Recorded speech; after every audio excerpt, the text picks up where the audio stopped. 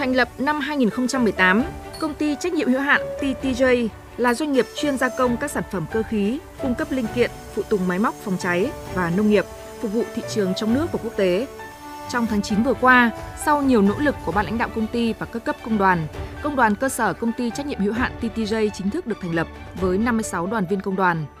Đứng trên mà suy nghĩ là sự hiểu biết về công đoàn cũng như là trách nhiệm của chủ doanh nghiệp thì tôi mong muốn tất cả người lao động,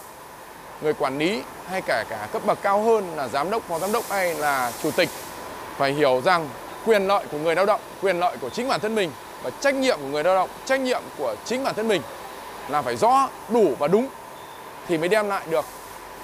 những cái quyền lợi tốt nhất cho người lao động cũng như cho doanh nghiệp. Công tác phát triển đoàn viên, thành lập công đoàn cơ sở được xác định là khâu đột phá và được chỉ đạo với nhiều biện pháp quyết liệt. Ngay từ đầu nhiệm kỳ, Liên đoàn Lao động tỉnh đã quyết định thành lập ban chỉ đạo và các tổ công tác phân công phụ trách địa bàn để triển khai thực hiện nhằm hoàn thành chỉ tiêu kế hoạch theo phương châm ở đâu có người lao động, ở đó có tổ chức công đoàn. Vì vậy, trong nhiệm kỳ, toàn tỉnh đã thành lập mới được 133 công đoàn cơ sở, kết nạp được trên 51.000 đoàn viên mới. Nhiều địa phương thực hiện vượt chỉ tiêu đề ra. Nhiệm kỳ vừa qua ấy, thì Liên đoàn Lao động thành phố Phổ Yên cũng đã thành lập được 19 công đoàn cơ sở đạt 190% kế hoạch à, của nhiệm kỳ đề ra. Phát triển được à, 7.300 đoàn viên, à, đạt được 146% kế hoạch nhiệm kỳ đề ra. Tôi đang phấn đấu từ giờ đến cuối nhiệm kỳ thì 100% các doanh nghiệp có từ 10 người lao động trở lên ấy, sẽ được thành lập tổ chức công đoàn. Nhiệm kỳ 2018-2023, lần đầu tiên Ban Thường vụ Liên đoàn Lao động tỉnh tiến hành ký quy chế phối hợp hoạt động với tất cả Ban Thường vụ Thành ủy, huyện ủy và một số sở ngành, đơn vị liên quan.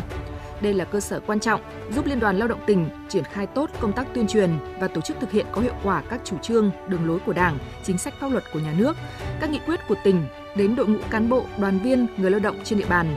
phối hợp trong công tác quản lý đội ngũ cán bộ công đoàn, thực hiện quy chế dân chủ ở cơ sở, tổ chức các phong trào thi đua, hoạt động văn hóa thể thao, hỗ trợ chăm lo cho đoàn viên, công nhân viên chức lao động, đảm bảo an ninh trật tự, an toàn xã hội,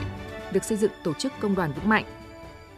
Ban Thường vụ Liên đoàn Lao động huyện đã hỗ trợ xây dựng 11 km đường điện thắp sáng miền quê, xây dựng 8 nhà máy ấm công đoàn, ờ, hỗ trợ các thiết chế văn hóa, xây dựng nhà văn hóa, ờ, chung sức xây dựng huyện Phú Lương À, đạt chuẩn nông thôn mới vào năm 2024.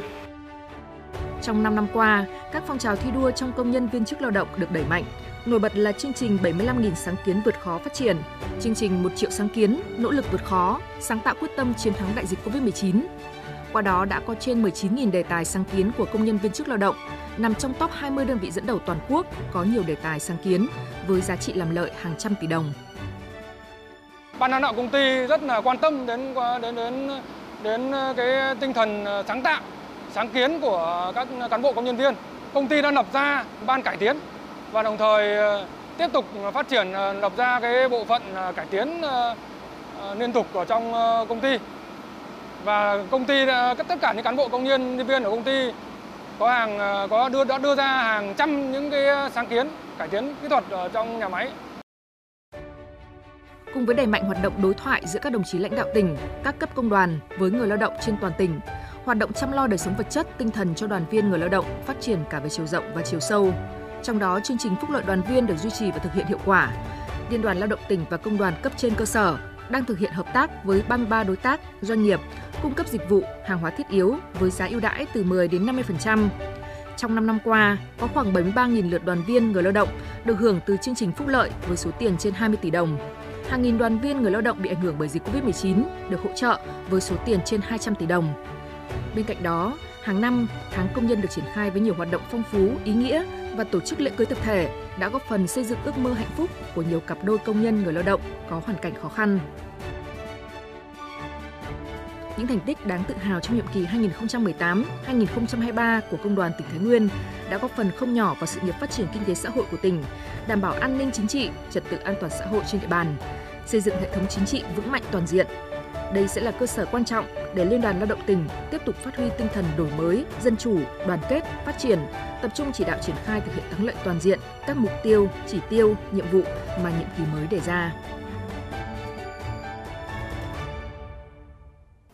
Diễn ra trong hai ngày mùng 3 và mùng 4 tháng 10 năm 2023 tại Trung tâm Văn hóa Nghệ thuật tỉnh. Đại hội Công đoàn tỉnh Thái Nguyên lần thứ 17, nhiệm kỳ 2023-2028 là sự kiện quan trọng đối với toàn thể công nhân viên chức người lao động trên địa bàn tỉnh. Đây là dịp nhìn lại những thành tựu đạt được trong chặng đường 5 năm 2018-2023 của phong trào công nhân viên chức lao động và hoạt động công đoàn của tỉnh Thái Nguyên, đồng thời tạo khí thế thi đua sôi nổi để công nhân viên chức lao động nỗ lực lao động sản xuất, tiếp tục xây dựng, củng cố, tổ chức công đoàn vững mạnh, qua đó góp phần thực hiện thắng lợi nghị quyết Đại hội 13 của Đảng, nghị quyết Đại hội Đảng bộ tỉnh lần thứ 20. Trước thềm đại hội, phóng viên Đài Phát thanh Truyền hình Thái Nguyên đã có cuộc trao đổi với đồng chí Phạm Việt Dũng, Chủ tịch Liên đoàn Lao động tỉnh. Mời quý vị và các bạn cùng theo dõi.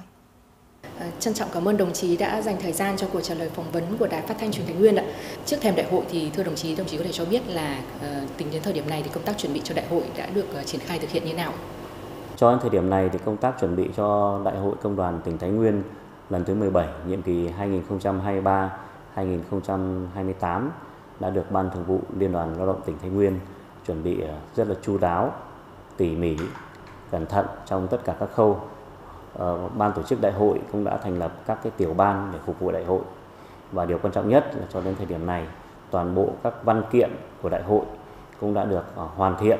và các văn kiện này đều được ờ, nhận được sự đóng góp ý kiến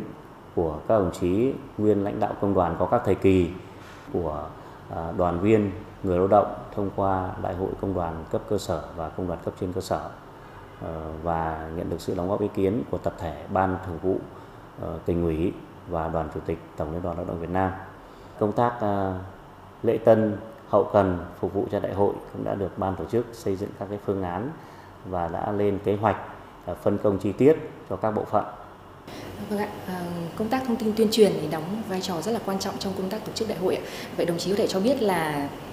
công tác này thì đã được tập trung triển khai như nào? Để tuyên truyền cho Đại hội Công đoàn tỉnh Thái Nguyên lần thứ 17 thì ban thường vụ liên đoàn lao động tỉnh đã sớm xây dựng à, các cái kế hoạch ờ, phương án về công tác à, tuyên truyền. Đặc biệt là chúng tôi tổ chức à, ký chương trình hợp tác với đài phát thanh truyền hình tỉnh báo thái nguyên, báo lao động, tạp chí lao động công đoàn để xây dựng kế hoạch tuyên truyền cho đại hội cách đây từ 3 tháng. Tổ chức công đoàn tỉnh thái nguyên cũng đã tuyên truyền trên các cái phương tiện thông tin đại chúng, đặc biệt là các cái kênh fanpage của công đoàn Thái Nguyên trên các cái nhóm Zalo, Facebook để tuyên truyền đến đông đảo đoàn viên người lao động à, các cái nội dung hoạt động của công đoàn cơ sở hướng đến Đại hội Công đoàn tỉnh Thái Nguyên lần thứ 17. Vậy so với nhiệm kỳ trước thì Đại hội Công đoàn tỉnh Thái Nguyên nhiệm kỳ 2023-2028 thì à, có những điểm mới gì thưa đồng chí?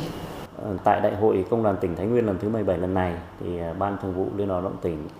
tập trung cho việc chuyển đổi số trong các hoạt động của Đại hội Công đoàn tỉnh. Chúng tôi đã xây dựng về cái app Đại hội Công đoàn Thái Nguyên để gửi đến 350 đại biểu toàn bộ nội dung về tài liệu, công tác à, điểm danh, à, công tác à, kiểm phiếu thì đều được truyền tải trên cái app của công đoàn Thái Nguyên tại đại hội. Chúng tôi sẽ sử dụng phòng họp không giấy. Toàn bộ tài liệu này thì sẽ được các đại biểu sẽ sử dụng mã QR để khai thác tài liệu và tất cả nội dung tài liệu này thì chúng tôi đã gửi đến uh, các đại biểu thông qua cái trang app của công đoàn Thái Nguyên. À, có thể nói là vai trò của cán bộ công đoàn thì đóng cái vai trò then chốt uh, trong hoạt động và tổ chức công đoàn. Vậy đồng chí có thể cho biết những cái yêu cầu đối với công tác nhân sự trong đại hội lần này? Công tác chuẩn bị nhân sự cho đại hội 17 của công đoàn tỉnh Thái Nguyên lần này thì cũng được ban thường vụ liên đoàn lao động tỉnh triển khai kịp thời theo đúng hướng dẫn của đoàn chủ tịch tổng liên đoàn lao động việt nam và hướng dẫn của ban thường vụ tỉnh ủy thái nguyên về công tác nhân sự. Ờ, các đồng chí tham gia ban chấp hành khóa mới phải đảm bảo đầy đủ